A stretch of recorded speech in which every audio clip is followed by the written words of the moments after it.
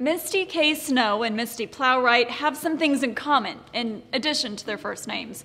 They both won Democratic primaries Tuesday night, and they're both transgender. Snow is running for a Utah U.S. Senate seat, and Plowright for a U.S. House seat in Colorado. By beating out their adversaries Tuesday, the women achieved a major milestone. The Washington Post reports Snow and Plowright are the first openly transgender candidates in U.S. political history to take home a win in a major party's congressional primary. But both candidates say their gender identity isn't a part of their platform. Back in May, Snow told the Salt Lake Tribune, I'm not running because I'm transgender, I just happen to be transgender. Plowright told a local newspaper she considers herself the anti-politician. The victories come at a tough time for transgender rights in America. So-called bathroom bills in states like North Carolina require people to use public facilities matching their gender at birth. It's a practice that many, including the president, call discriminatory.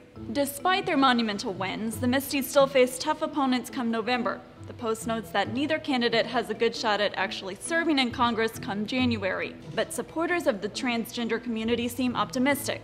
An official with the Human Rights Campaign told NBC it is only a matter of time as progress and visibility continue to expand that we'll see transgender people in Congress. For Newsy, I'm Katie Link.